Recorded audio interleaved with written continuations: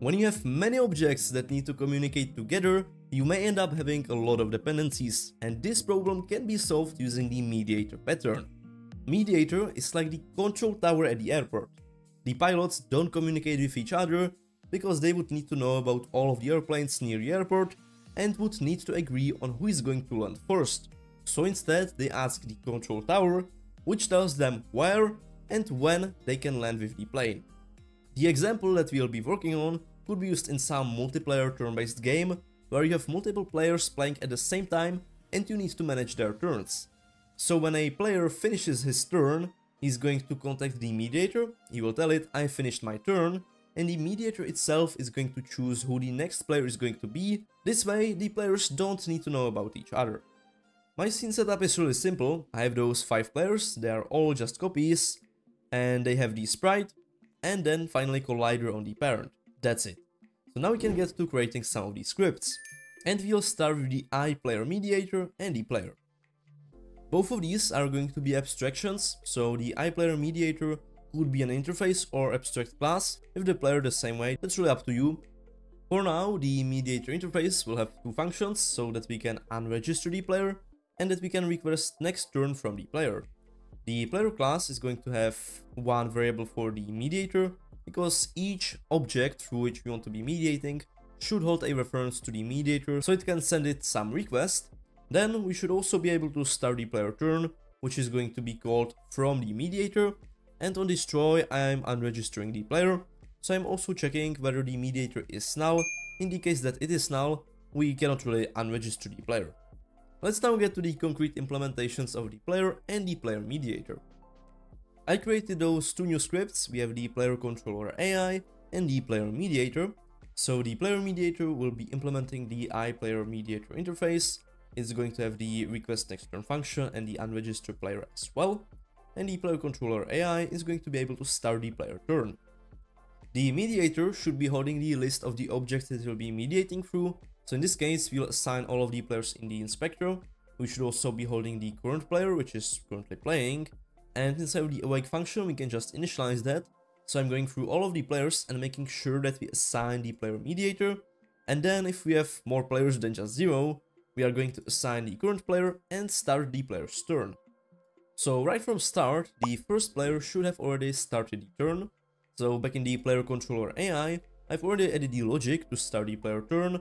I'm adding some delay to make sure that the turn doesn't just end instantly.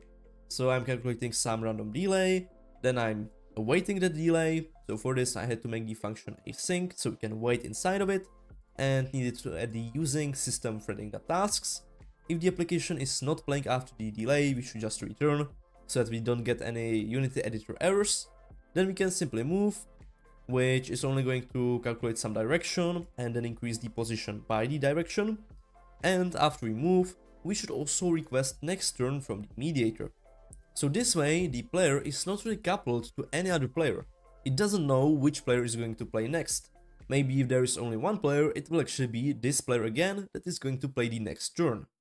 And this is the main idea of the mediator, that the mediated objects, so in our case the players, can send some requests, but they don't know how they will be handled or who is going to receive them. After the player has finished his turn, he's going to request the next turn from the mediator, here I'm checking if there are some players. Then I'm getting the next player index. So we are getting index of the current player, adding 1 and using the modulo operator. This is making sure that we are looping through the list and that we don't go out of the bounds of the list. Then we can assign the current player and start the player turn of the next player. And finally, we can also complete the implementation for the unregistered player function. So if the list contains the player, then we can just remove it. In Unity, we don't need to do much. We should add the player controller AI script to all of the players, so I'll just drag it in. And then we can add new object, which will be for the mediator, add the script there, and drag in all of the players, so I will log the inspector and drag them all at once. As we play the game, we can see the players are playing their turns, they are waiting for the each player to finish, and yep, we can see that everything is working. Let's now take a look at how we can send some messages between the players. So we can either send message just to one player or to all players, maybe just to the enemies, to the friends, and so on. This is what's also quite often done with the mediator. So let's go back to the code. in the iPlayer mediator, I have added two functions. We can notify one player, so we need to specify the player, pass in the message, or we can notify all players. Then in the player mediator, I have added those functions. I've added one helper function, which will allow us to notify players in a list.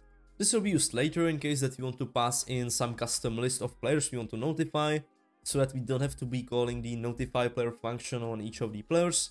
We can simply pass it into the player list, pass in the message, which is going to loop through all of the players, and make the player receive the message. When we are notifying all of the players, we can actually utilize that function, so we notify players in the list of the players, which is containing all of the players, we pass in the message. When we are notifying a player, we will notify just that player we want. Here you can notice that I'm using the receive notification function, which I've also added into the player. This is an abstract function, so it can be overridden. And back in the player controller AI, we are overriding it, so that's really quite simple. We just get the message, and I'm doing some debug.log to know that this player has received some message.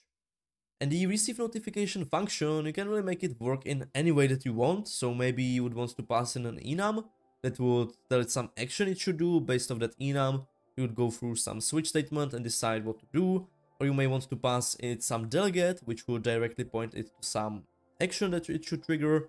There is really tons of possibilities that you can do with these notifications, the requests and so on. But the way that we'll utilize it right now will be just when the player turn starts, it's going to send him a notification saying that your turn has started. So back in the player mediator, should be quite simple. In the request next turn function, I'm checking if we want to notify on next turn, because it can be a bit annoying having too many debugs so I've added the simple boolean for that, so that we can turn it off if we want.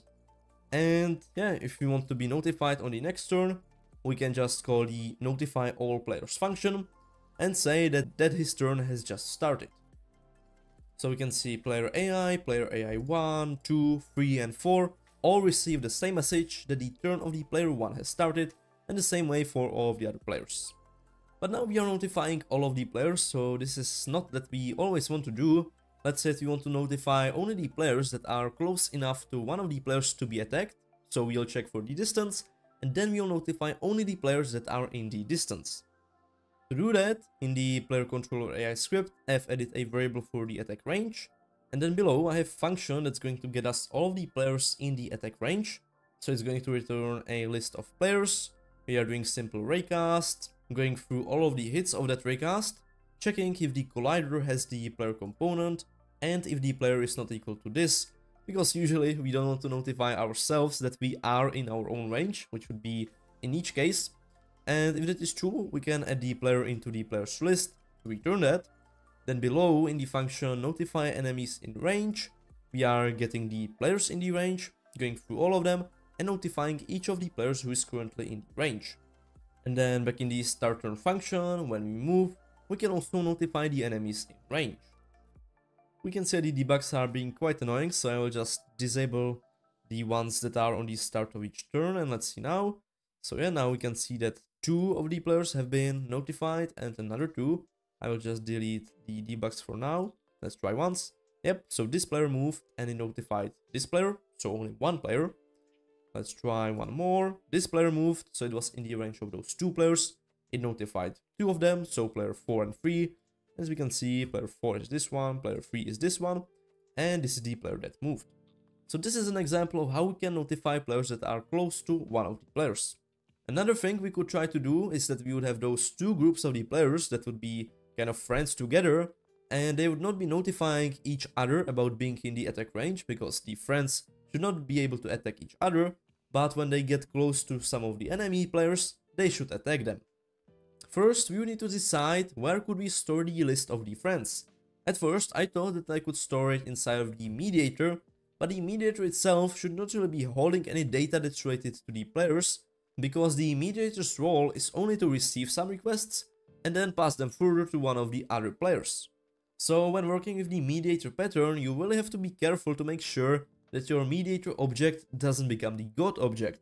What is the god object? Well, it is just trying to do too many things at once, so it is also violating the single responsibility principle.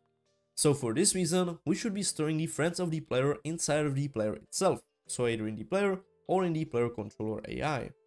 I've added a list of the players, which are the player's friends, and then I have those two public booleans which will just return us whether the player is a friend or is enemy of some other player. In the player mediator interface, we can now have the function to notify the player enemies. So we need to know the related player, so the enemies of which player do we want to message. And then optionally we can also pass in the list of the players to choose from. If we don't assign this, we should be choosing from all of the enemies of the player. But if we assign something, for example the players that are only close to the player, then we only want to choose the enemies from the close range. I have implemented the notify player enemies function into the player mediator script. So we are only going through all of the players and if the players to choose from is equal to null, then we want to loop through all of the players. Otherwise, if we have assigned some list of the players we want to be able to choose from, we should be choosing from the players to choose from list. If the player is the enemy of the related player, then we can send the notification.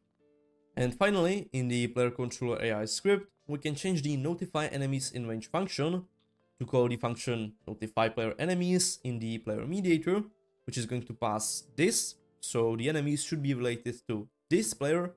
We'll send the message and the players we want to choose from should be the players in range. So this should limit the players it's going to notify to the players which are in the range of this player and only to enemies of this player. And so that the player actually has some enemies, we should assign them somewhere. So I'm doing it just on start, that on start we check the distance from all of the players around us and if they are too close, they become our friends. So we have the function assign friends, where we are getting the players in range, looping through all of them, and adding them into the friends list. And also I'm notifying each of the players just to tell them that we are now friends. So we can see that the notify player functions and all the other functions we made are really reusable and you can use them for pretty much any purpose. As we start the game, we can see that we have gotten quite a lot of notifications from the players. So those three players should be friends together and those two should be friends as well. We can see that we have gotten 8 notifications, which if we count it makes sense because this player has sent a notification to this player and this player, so we have 2 notifications. This player sent again another 2 notifications, so that's 4. This player again sent two notifications, so we have six. And those two players each just sent one notification, so a notification makes sense, so we can clear it. And if we keep the game playing, we can see that we are not getting any more notifications, because first I've turned off the notifications on each turn, but the players are not notified about being in each other's attack range if they are friends. So all of these are friends, they are not being notified, and if you would move them, so let's say I can move this player here, those two players should receive the notification that some enemy is in their attack range. Yep, first this player moved, so only the one enemy received the message. Can keep it further. And now as the one enemy moved, both of these other players received the notification. We can try to mix the players even more to see that we'll get even more messages. So if you put them at the same place, we should see quite a lot of notifications about the players that are in the enemy's attack range. Yep, and we can see that it is clearly working. This was just a simple example of how we can use the mediator, it can really be used for any kind of object or any kind of group of objects, and you can see that it's really going to make the communication between them easy, because the objects itself may not know about each other. To wrap it up, what are the pros and cons? Well, the pros of the mediator are that it's going to reduce the dependencies, you are going to have a centralized control over everything that's happening. This can be positive and also negative, because if the mediator itself has some bug inside of it or some error, then everything is going to break, but I think that this is better than having errors in multiple different places. So you have centralized control, everything is being controlled from one place. It's also following the single responsibility principle, because each of the players only care about themselves, they care about what they do, how they move, how they attack, they don't really care about who is going to play next, and so on. That's what the mediator is for. Also, it's following the open-closed principle so that we can simply scale it, because the mediator is following the interface, so we can include more different types of the mediator, and the same way the players are also following the same abstract class, so later we could add some player controller, which would be actually for live humans who could play the game, and we could also have some AIs as well. And the main disadvantage of this pattern is that the mediators have tendency to become god objects, meaning that they handle much more than they were originally designed for, but this can be avoided by careful planning, going through all of the logic once more and just checking whether it is not becoming the god object. And that's it, so I hope that I helped you to understand the mediator pattern and that you will know how to implement it in your own projects. Feel free to check out my Patreon where I'm releasing some extra content. Anyways, I hope that this video was helpful. If you have any questions or suggestions, feel free to leave them down in the comments. Don't forget to like, subscribe, and I will see you in next videos. Bye!